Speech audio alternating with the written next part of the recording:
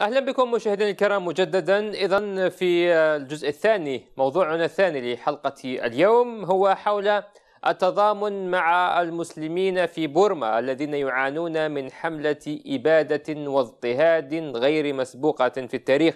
طبعا القضية البورمية في تلخيصها أقلية مسلمة تعاني من اضطهاد تمارسه عليها الأغلبية البوذية في البلاد. طبعا الأقلية المسلمة آه، تتركز أساسا في إقليم أراكان وهو إقليم منذ القديم وفيه جالية وفيه تواجد إسلامي. آه، كان هنالك الكثير من التطورات في بورما معاناة باقي كل الشعب البورمي من حكم عسكري. يبدو أنه لما آه، حلت القضية بين الشعب وبين العسكر وجاءت مستشارة للحكم مدنية الحاصلة على جائزة نوبل السلام حتى بدأت الأنظار البوذية تتجه نحو المسلمين وتراهم مهددا لتركيبة هذا البلد رغم أنهم عاشوا في سلام وفي وئام وفي وحدة وطنية لقرون عديدة. في حلقة اليوم ربما لن نتحدث عن القضية البورمية وعن مسلمي أراكان من زاوية سياسية ومن زاوية التطورات. هذه المرة نتحدث عنها من مقاربة إنسانية خصوصا أنه فيه آه، عمليات إغاثة وقوافل إغاثة آه، من هنا من الجزائر.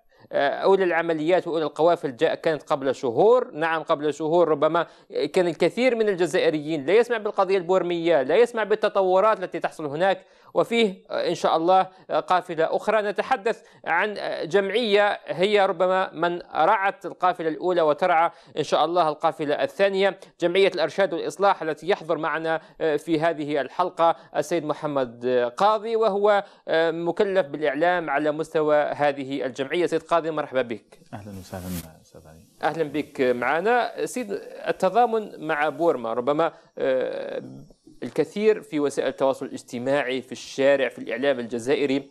بدأ الاهتمام بهذه القضية بدأ آه، ينظر إلى الشعب البورمي بعين التضامن وبعين آه، التعاضد الإسلامي المطلوب.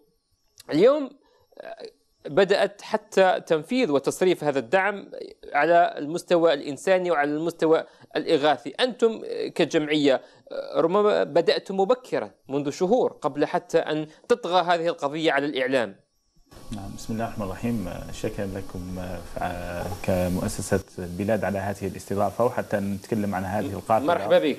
وعن القوافل الإغاثية اللي تقدمها أو اللي تسيرها هيئة الإغاثة الجزائرية التابعة لجمعية الإرشاد والإصلاح إلى مختلف دول العالم إلى إلى الشعوب المستضعفة والشعوب الفقيرة في مختلف أرجاء العالم.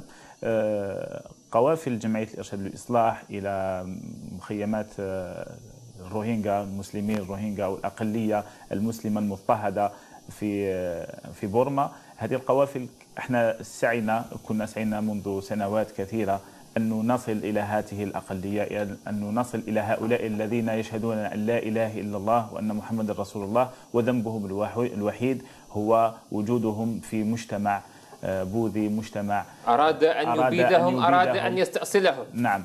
هم تواجدهم كان قبل سنوات حوالي 5 ملايين آه، مسلم آه، روهينجي الآن نتكلم عن مليون وبضعة الآلاف. نصفهم هجر إلى مخيمات للمخيمات البنغالية يعني في بنغلاديش. ونصفهم الآخر يعاني الأمرين يعاني آه، مرارة مرارة التعذيب والتقتيل ومرارة الجماعي أيضا حتى ومرارة في ظروف صعبة وصعبة نعم جدا. رأيناهم كيف يعبرون الأنهار كيف يعبرون مجاري مائية نعم. تشكل خطرا على حياتهم. طبعا لا ملاذ لا ملاذ وسط آه، العالم يتفرج والمسلمون يتفرجون والمنظمات الأممية تتفرج. طبعا يا ريت يعني تكلمنا عن القافلة الأولى. كيف جاءت مبادرة؟ كيف نعم. أصبحت نعم. قضية مسلمي بورما مسلمي أراكان أولوية لدى جمعية جزائرية تبعد عن بورما بآلاف آلاف الكيلومترات. عشرات الآلاف عشرات آلاف الكيلومترات. كيف جاءتكم قضية بورما وأصبحت أولوية ونظمت القافلة؟ أنا قلت لك في البداية أنه إحنا عندنا عدة سنوات نحاول أن نصل إلى هذه الأقلية لأنه أزمة مسلمي الروهينجا ليست وليدة اليوم أو وليدة الأمس وإنما هي وليدة لكن الإعلام هو من جعلها ربما حديثة في نظر البعض. طبعا. لأنه بحكم بحكم يعني التراكم تراكم ما يحدث فيها يعني من قبل 82 يعني نتكلم عن في سنة 1982 المسلمين الروهينجا يعني منعوا من أخذ الجنسية. ومن هناك يعني بدأت المعاناة تتفاقم وتكبر أكثر فأكثر. فجمعية الإرشاد والاصلاح بحكم التقارير التي تصلنا من داخل من داخل بورما ومن من بنغلاديش ومن عدة مؤسسات وجمعيات تعمل في الشأن الاجتماعي وفي الشأن الإنساني إحنا قررنا أنه آه، نسير قوافل آه، ليست القافلة الأولى فقط وإنما القافله الثانية وإن شاء الله الثالثة والرابعة. وكل كيف مره بدأ أول تواصل مع جهات بورمية أنتم كجمعية الأرشاد والإصلاح؟ كيف التقيتم كذا واتفقتم مع جهة بورمية محددة وقلت لهم آه، نحن سنمدكم بإعانات محددة. كيف حصل هذا التواصل؟ التواصل هو التواصل آه، يعني مع الجهات البورميه هو سيء نوعا ما بحكم انه هم اللي يمنعون يمنعون الجوازات العربية من دخول آه، هذه بورما الرسمية. هذه بورما الرسمية طبعا. وإنما ولكن هناك جهات داخل بورما هي جمعيات ومؤسسات آه، حتى أراكانية مسلمة. إعلامية أراكانية. تعمل داخل بورما في مينمار وتعمل آه، كذلك في في خارج بورما. إحنا تواصلنا معها يعني بدأ بحكم بحكم يعني التقائنا في الملتقيات والتجمعات اللي فيها يعني جمعيات تعمل في الشأن الإنساني. فبدأت التواصل تاعنا معهم. بدأت القافلة الأولى يعني آه، نفذنا القافلة الأولى في شهر مارس. آه، يعني تحضيراتها بدأت قبل تقريبا ثلاث أشهر. هذه القافلة كانت آه، تحمل مساعدات إنسانية غذائية مستعجلة. إحنا حاولنا أنه نمشيو في القافلة هذه يعني بوفد من هيئة الإغاثة الجزائرية يمشي في في هذه القافلة لكن قلت لك أنه وجدنا صعوبات في أخذ التأشيرة وصعوبات كذلك بحكم انه السلطات البرمية تمنع دخول العرب والمسلمين إلى منعا هكذا. من منع أنت عربي مسلم ممنوع عليك. عندك جواز عربي ممنوع أنك تدخل. فإحنا حتى يعني بعض المؤسسات الإعلامية مثلا حتى آه، شبكة الجزيرة رفضوا حتى دخول الصحفيين العرب بأسماء عربية. دخلت الجزيرة إنجلش العالمية بأسماء أجنبية. لكن حتى حتى حتى القنوات اللي راهي تدخل ما يخليوهاش تدخل. نتكلم بمرافقة. لا ما يخلوهاش تدخل الاماكن اللي فيها التعذيب والاماكن اللي فيها التنكيل والأماكن اللي يضطهد فيها ويعني يباد فيها العنصر الروهينجي المسلم. فلهذا يعني حتى إحنا الفيديوهات اللي أنا نشوف فيها في مواقع التواصل الاجتماعي أو الفيديوهات اللي توصلنا لا هي فيديو فيديوهات من هواتف هذا فقط يعني ليست من تقارير يعني حتى التقارير اللي تجينا من داخل من داخل بورما يعني هي تقا هي تقارير شخصية يعني ما تكونش يعني بوسيلة إعلامية. ليست بوسيلة إعلامية. الدخول إلى بورما تقريبا من المستحيلات. نعم. بالنسبة إليكم أنتم كجمعيات خيرية وإغاثية. اذا كيف تتم؟ إحنا القافلة الأولى خلينا نتكلم لك على القافلة الأولى، القافلة الأولى دخلت يعني إحنا بحكم يعني خلينا ما نقدرش ندخلوا هنا يعني ليس مش معناها إنه ما ندوش معنا ما نرسلوش المساعدات والمسلمين الروهينجيين كانوا يعني في أمس الحاجة إلى تلك المساعدات. فإحنا أرسلنا هذه يعني كانت اتصالاتنا مع الإخوة داخل أراكان. فأرسلنا هذه يعني عن طريق بنغلاديش. وصلت هذه وصلت هذه المساعدات وزعت الحمد لله إحنا الصور والفيديوهات وكذا والتقارير وصلتنا على عدد عدد المساعدات وعدد السلل الغذائية وال... من يدخلها من بنغلاديش إلى بورما؟ هناك يعني هناك مخيمات في الحدود في الحدود البرمية وكأنها تهرب تهريب. لا لا ليس تهرب وإنما تدخل قلت لك إحنا نتعاون مع المؤسسات المجتمعية في من ماليزيا من بنغلاديش من تركيا من عدة دول. هذه الدول هم يتولون يستطيعون الدخول إلى يستطيعون الدخول فيكون عمل مشترك معهم هم الذين يدخلونها. في المرحلة هذه يعني في في القافلة الثانية هذه الذي الذي يعني اللي أطلقناها منذ أيام فقط هذه هذه القافلة نحن نريد أن ندخل مساعدات غذائية ومساعدات صحية وكذلك آه، مساعدات تربوية. كيف ذلك؟ إحنا الآن يعني فيه آه، فيه مشاريع أطلقناها. يعني القافلة في حد ذاتها هي قافلة فيها داخلها عدة مشاريع السلة الغذائية. ما هي الأولويات حاليا؟ الأولويات أنا لا أعتقد أنه ربما التربوية على أهميتها ربما على المدى المتوسط البعيد لكن الآن نرى أناس حفاة عراة مجروحين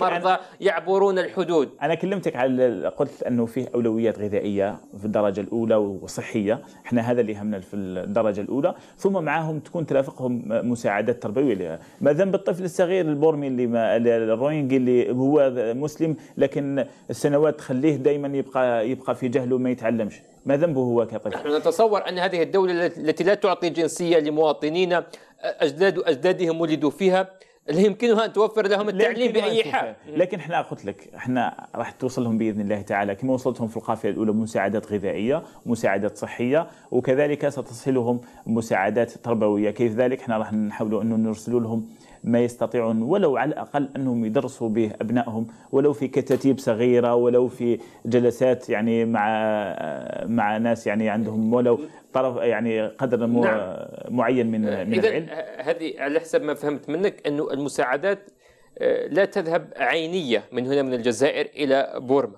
نعم. بأي شكل يتم إحنا الآن آه، المساعدات بحكم لا تستطيع أن ترسلها يعني من من الجزائر إلى بنغلاديش ثم إلى بورما أو إلى أراخان أراكان لأنه هذا راح يكلفك أكثر من القافلة.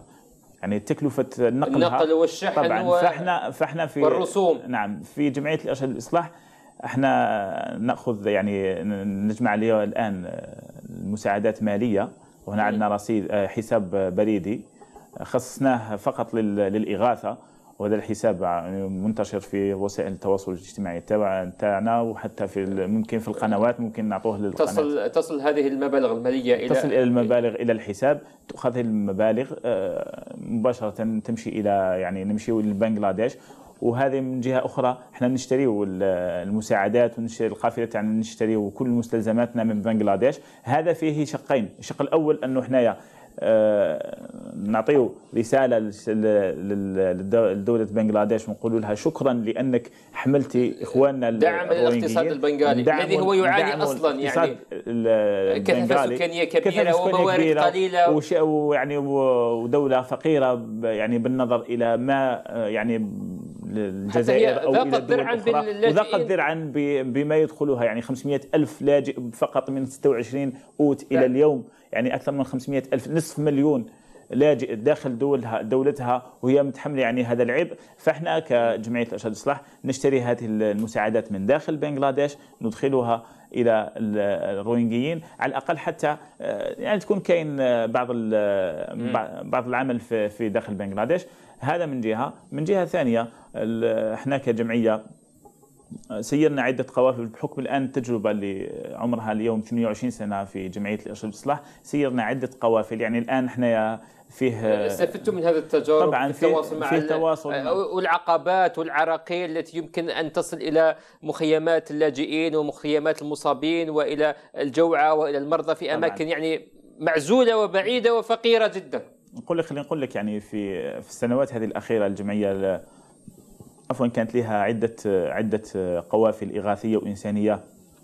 الدول في داخل إفريقيا وفي خارج يعني دول جوار ودول في آسيا وكاين دول في شرق آسيا. يعني من باكستان نتكلموا عن باكستان نتكلموا على على على مسلمين روهينجا نتكلموا على سوريا فلسطين آه، الصومال آه، الصحراء الغربية خرن تشاد ويعني هذه الدول كلها كانت فيها هنا في الجزائر. آه، ربما أمور معقدة من ناحية الإجراءات أنك تجمع أموال هنا وتحولها إلى الخارج آه، فيها كثير من الأمور. بالنسبة إليكم كجمعية يعني هل هذا الرصيد ربما من التجربة ومن التعاون مع السلطات الجزائرية هنا ومع السلطات في البلدان التي تستقبل هذه المساعدات آه، خلى الأمور تسير بسلاسة أم أنه في بعض الأحيان آه، تظهر إجراءات وتظهر تعقيدات التي ربما على المستوى الاقتصادي على المستوى الأمني تكون ضرورية في بعض الحالات.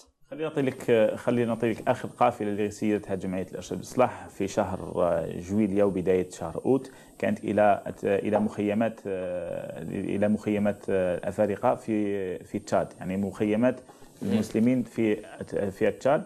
يعني كان تنسيق هنا مع مع الجهات الرسمية الجزائرية ومع الجهات التشاديه وكان فيه تعاون كذلك مع السفير آه، التشادي في السفير الجزائري يعني هنا رسمي مع رسمي لكن أحيانا تتعامل مع جهات غير رسمية غير حكومية مثل ما يحصل حاليا في أراكان يعني. نعم. آه، قلت لك الجهات الرسمية في الجزائر الحمد لله يعني ما يعني ما فيش ما فيش فيه تجاوب أول شيء فيه تجاوب.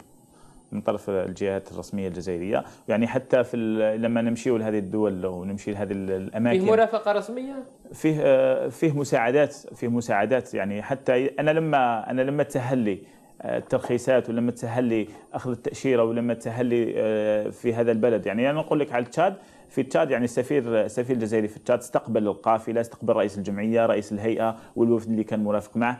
رافقهم كذلك في تقديم المساعدات رافقهم كذلك في الجولة اللي كانت في تشاد يعني كان في مرافقة فعلية. نعم فيه مرافقة وكذلك كانت فيه مساعدات كذلك في في ممكن في السنوات الماضية لقوافل آه، داخل الجزائر وحتى محمد خارجها. قاضي اليوم ربما بدأت قضية مسلمي أركان ومسلمي بورما يعني بأن تصبح من آه، الأولويات ومن يعني الأحداث الأساسية التي يهتم بها المواطن الجزائري. نرى هذا في إعلامنا نرى هذا حتى في وسائل التواصل الاجتماعي حتى في الشوارع. نتحدث بدات هذه القضية آه، تطفو على السطح. بعدما ربما لسنوات وسنوات وهي تحت نار آه، التعتيم وتحت التجاهل ربما من هذا الطرف وذاك. كيف يمكن أن نصرف هذا الاهتمام الشعبي إلى اهتمام إنساني إلى مبادرات إنسانية يرعاها المجتمع آه، المدني الجزائري. إحنا هذه القافله عفوا هذا هذا الموضوع اللي هو موضوع آه، مسلمي الروهينجا هو موضوع قديم جديد. كيف ذلك؟ هو موضوع قديم في حد ذاته بحكم أنه هذا ال هذا ال هذه الأقلية تضطهد منذ سنوات كثيرة. لكن في الجزائر وممكن في الدول العربية جديد بالنسبة لهم لأنه الإعلام كان مغطي يعني كان ما كانش كاينة صورة حقيقية لما يحدث داخلها داخل ولاية أراكان أو داخل بورما عموما. بحكم الانفتاح الإعلامي وبحكم مواقع التواصل الاجتماعي وبحكم القنوات الجزائرية والصحف وغيرها هذا جعل المواطن الجزائري والرأي العام ينظر إلى هذه القضية على أساس أنها قضية إنسانية إسلامية محضة. قضية قضية آه، أقلية مسلمة مضطهدة في مجتمع مجتمع بوذي يضطهد ويريد أن يعني ينهي هذه هذه الأقلية استئصالا يعني. تاما فبحكم المجتمع الجزائري خلينا نقول لك إحنا نقول لك بعد 28 سنة الآن المجتمع الجزائري إحنا نعرفه مليح ويعرفنا مليح المجتمع الجزائري هو مجتمع يعني هو مجتمع منفتح على الخير منفتح على المبادرات الخيرية يعني يكفي فقط أنك تقنعوا أن فيه قضية عادلة فيه اضطهاد هنا وهناك فيه شعوب يعني مضطهدة تعاني الأمرين تحتاج المساعدة هو فقط. حتى يهب وحتى يكون في صدارة نعم. من يدعم وصداره الأسبوع الماضي الأسبوع الماضي اتصل بي أحد أحد المواطنين إحنا يعني نشكروه على هذاك الاتصال. يتصل يبكي يقول لي يا أخي والله يقول لي أنا مواطن بسيطة جدا.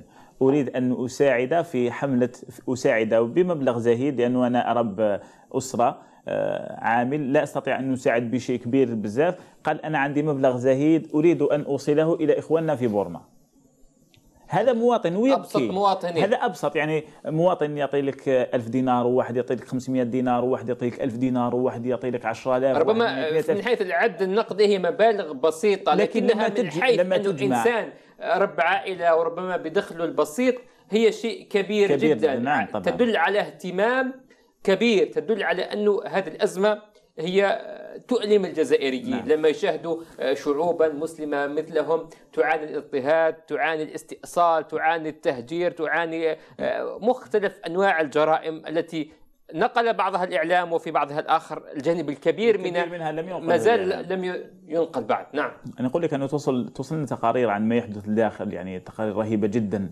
عن ما ينكل بالمسلمين وكذا. أكثر يعني لما تشوف الصور الفيديوهات اللي تنقل عبر مواقع التواصل الاجتماعي وكذا لكن الحقيقة اللي يعيشوها ما يقدر حتى واحد يعني. محمد قاضي إنه هذه الجرائم تحصل في بلد بوذي دائما كان يتم نشر في الإعلام إنه البوذية ما فيهاش تطرف فيها تسامح. فيها لكن تسامح فيها لكن للأسف ظهر بعض البوذيين ونحن هنا لا نعمم مثل ما نرفض أن يعمم التطرف على الإسلام والمسلمين. نعم. ظهرت بعض البوذيين المتعصبين الذين يريدون أن يقضوا على جانب كبير من الشعب وفيهم حتى رئيسة وزراء حاصلة على جائزة نوبل للسلام وقالت أن ما يحصل ليس إبادة وإنما تعتيم ضد بلادها. لا هي هي هي مؤخرا يعني نرجع اليوم 26 أوت يعني ما حدث في هذه المرحلة. هي كان هناك في يعني جهات مسلحة داخل داخل داخل أراكان.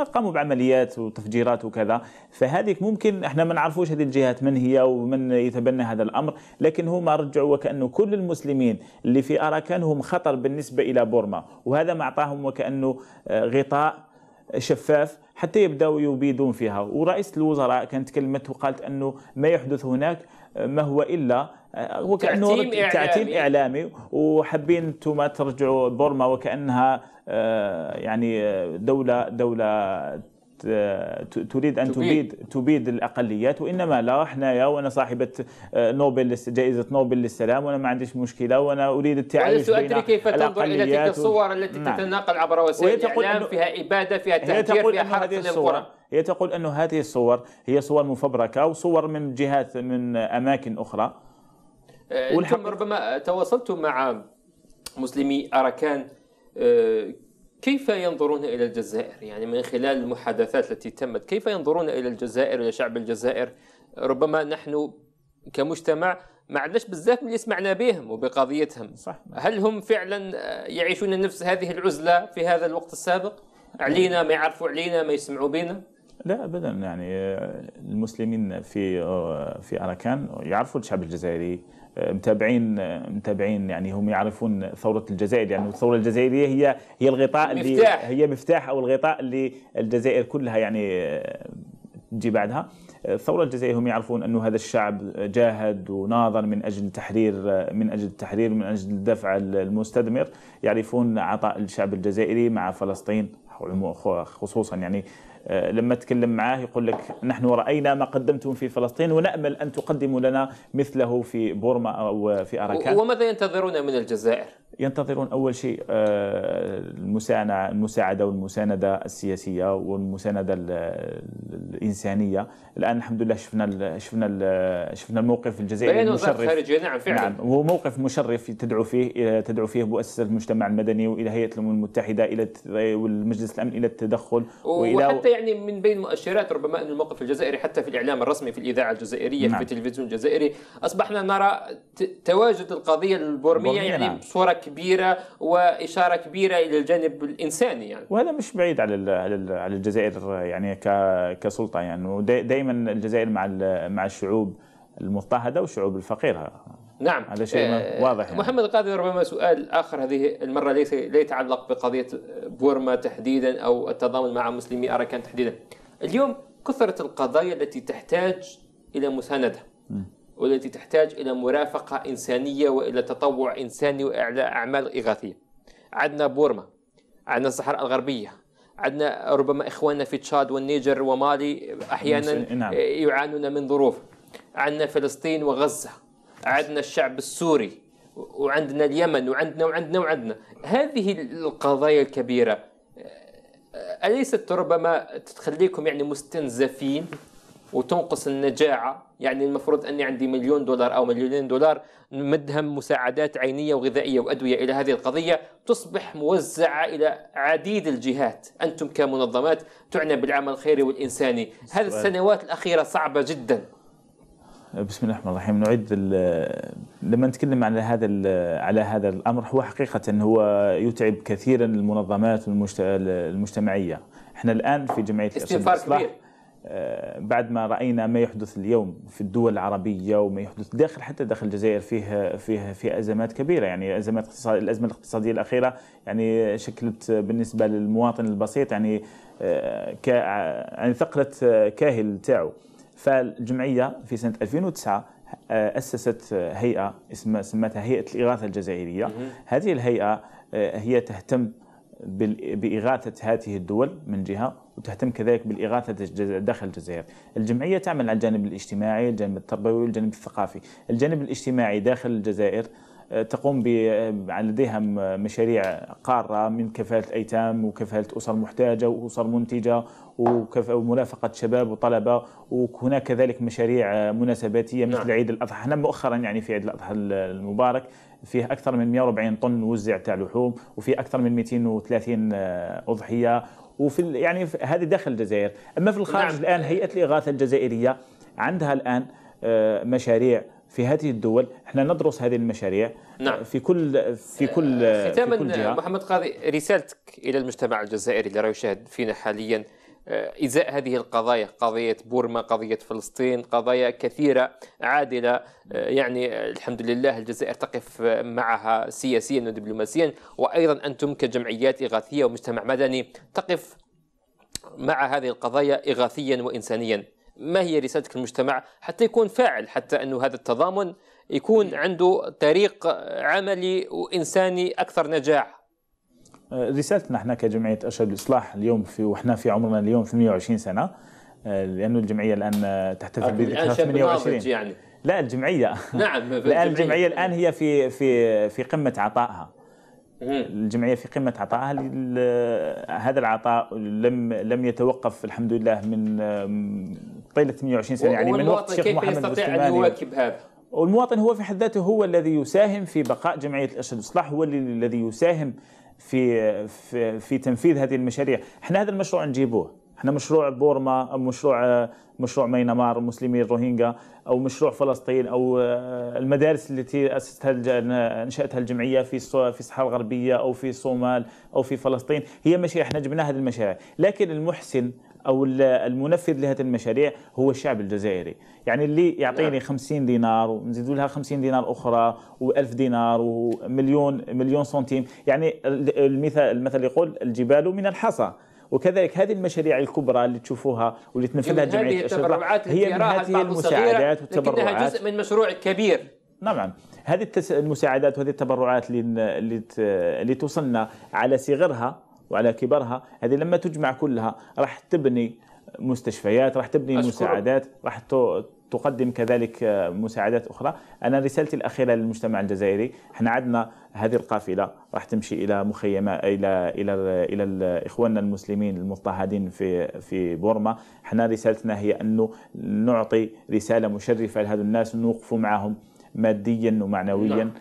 إن شاء الله. إن شاء الله إن شاء الله بكل توفيق لكم من جمعية الإرشاد والإصلاح ولكل آه، الجمعيات الإنسانية والخيرية هنا في الجزائر. السيد محمد قاضي المكلف بالإعلام على مستوى جمعية الإرشاد والإصلاح.